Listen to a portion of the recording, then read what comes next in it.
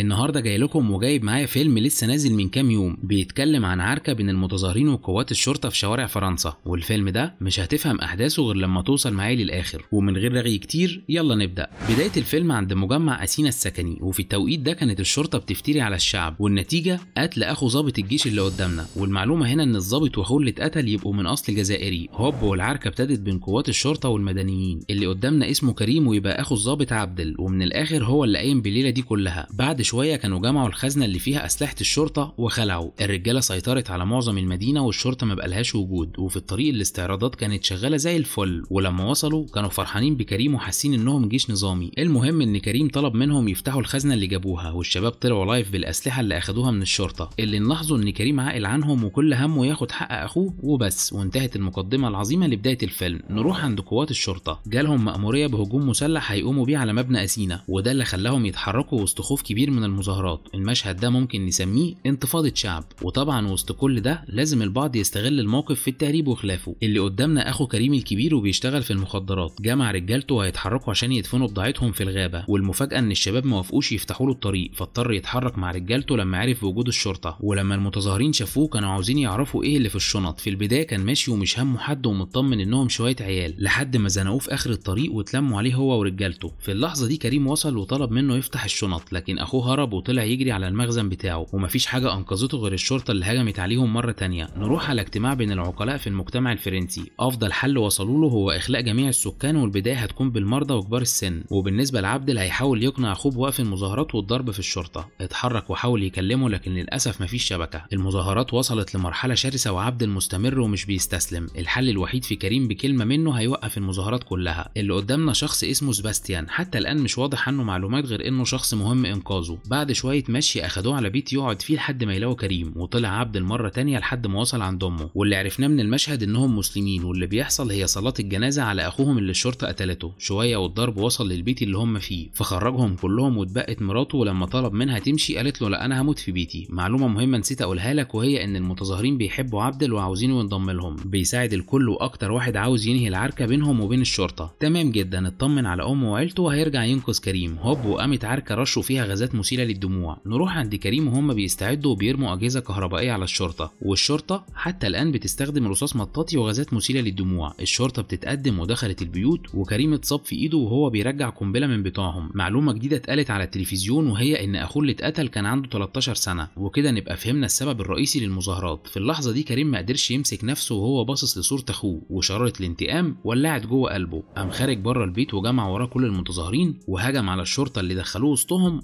ونفخوه وبعدين طلع ورجع تاني ومش عايز يستسلم. العركة استمرت لحد ما نزلوهم على الأرض مرة تانية وبعد يوم كامل مع المتظاهرين كان عبد المقبوض عليه في المظاهرات اللي حصلت الصبح. ولما أطلقوا سراحه وعرض إنهم يسيبوه يتفاوض معاهم فقالوا له مش هينفع لأن المداهمة هتحصل هتحصل. الدنيا بقت هادية وهس هس. وكريم دخل وجمعهم في مكان واحد وقال لهم زي ما قتلوا مننا واحد هنقتل منهم عشرة. ولو قتلوا اتنين هنقتل مية. والخطة هي خطف ظابط وبالتالي هيقدروا يعرضوا مطالبهم. طيب نروح لقوات الشرطة اللي عملت سلالم وابتدت تجهز للمداهمة. اتجمعوا كلهم في مكان واحد وعملوا درع وفجأة صواريخ ضربت. طبعا ده مش هيمنعهم من التقدم والعركة كده كده جاية. من أولها أصابوا ظابط وخطفوه واتلحق قبل ما يطلعوا بيه. وبعد ما اتجاب رجعوا تاني وبالتالي المداهمة لسه ما بدأتش. الشرطة وضعها بقى صعب واتحشروا في النص والصواريخ في كل مكان. المشهد ده جامد. المتظاهرين واخدين الحكاية كأنها لعبة. وهنا كريم قرر يتدخل ومع أول إزازة مولوتوف ولع فيهم. الوضع بقى ميؤوس منه والمداهمة فشلت والكل تراجع. مين بقى اللي اتبقى لوحده؟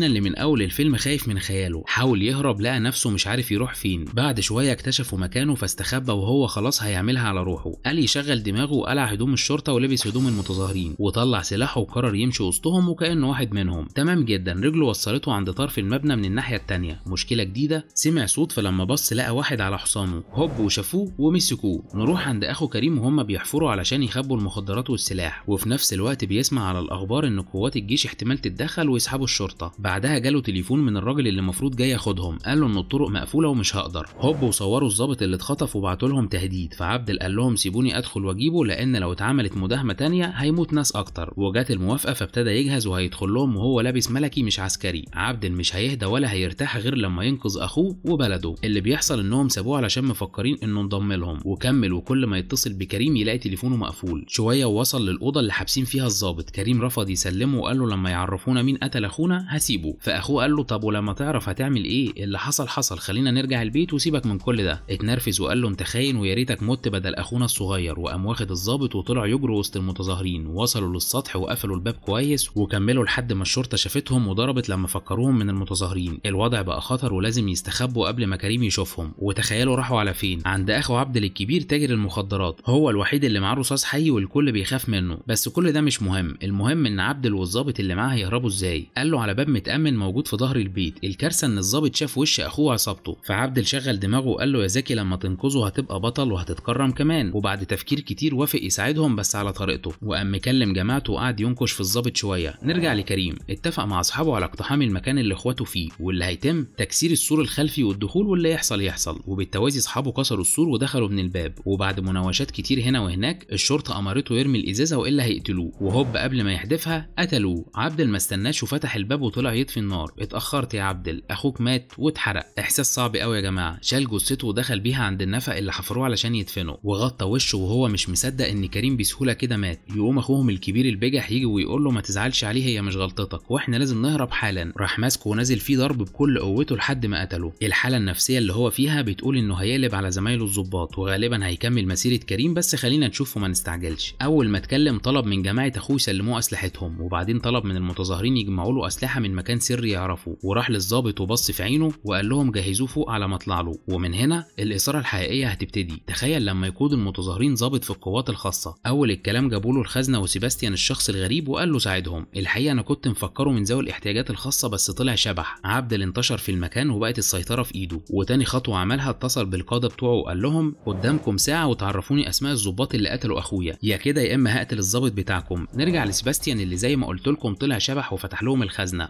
والآلي بقى في إيد المتظاهرين. شوية وعبد سمع صوت ضرب برصاص حي في البيت اللي هم فيه. سيباستيان اللي أمرهم يضربوا عشوائي علشان الشرطة تخاف تهجم كان بيدي وقت لنفسه علشان يفتح أنابيب الغاز في البيوت كلها. شكلك ناوي تفجر الحي بالكامل يخرب بيتك. في اللحظة دي عبد اطمن إن كل سكان المنطقة خرجوا من بيوتهم. بعدها جاله تليفون من القيادة بإن الضباط اللي قتلوا أخوه مش هيتسلموا ولازم يستسلم هو والمتظاهرين وإلا القوات الخاصة هتقتحم المبنى بالرصاص الحي. اتعصب وقال لهم هقتله وقام داخل عند سباستيان سيباستيان اللي رجالته بلغوه بتمام تجهيز اسطوانات الغاز وعبدل هيرجع مرة تانية للظابط والمرة دي ناوي على قتله. اتصل بالقيادات فيديو وطلب منهم يسلموا الظباط حالا وإلا هيقتله ودلوقتي قالوا له إن اللي قتلوا أخوه مش ظباط أصلا. الكلام ما دخلش دماغه لحد ما فقد أعصابه وضرب والمفاجأة إنه ما قتلوش. حلو قوي الكلام ده معناه إن العركة لسه ما بدأتش. كارثة جديدة زمايله بلغوه إن سباستيان هيفجر المبنى كله خلال 10 دقايق. عبد ما كانش بيعمل حاجة غير إنه ساكت وبيفكر. ولما الموضوع زاد الظابط قام ومشي قدامه من غير حتى ما يمنعه. ولما نزل قلع هدومه زي الباقي وخرج. اللي بيحصل إن المتظاهرين يستسلموا للقوات الخاصة ولحد دلوقتي محدش يعرف معلومة التفجير من كل اللي قدامنا. بعد شوية سيباستيان كان بيجهز خطوته الأخيرة قبل التنفيذ. كمية أنابيب غاز لا حصر لها ولو انفجرت هتبقى كارثة حرفيا. وعبدل استسلم وقرر يموت زي إخواته ولا إنه يسلم نفسه. إليأس اتملك منه وفقد الأمل في إنه يعرف مين اللي قتل أخوه الصغير. القوات الخاصة دخلت المبنى وابتدوا يطلعوا دور دور. وهوب حصل التفجير ومات عبدل. نروح للمشهد الأخير اللي معظم الناس اللي شافت الفيلم ما فهمتوش. الوشم اللي قدامنا يخص جماعة اسمهم اليمين المتطرف ودول بقى يا سيدي منتشرين في دول أوروبا ويبقوا من أشد العنصريين ضد المهاجرين العرب والأفارقة. واللي حصل إن هم اللي قتلوا أخو كريم وعبدل بعد ما انتحلوا شخصية ضباط شرطة ولبسوهم الموضوع. وبكده أقدر أقول لك وخلص الفيلم. وكده يبقى نهينا وانتهينا. اوعى تنسى ال like وال share وال subscribe كل وسائلنا على ال social media هتلاقيها تحت الفيديو. عاش جمهور الملخصات.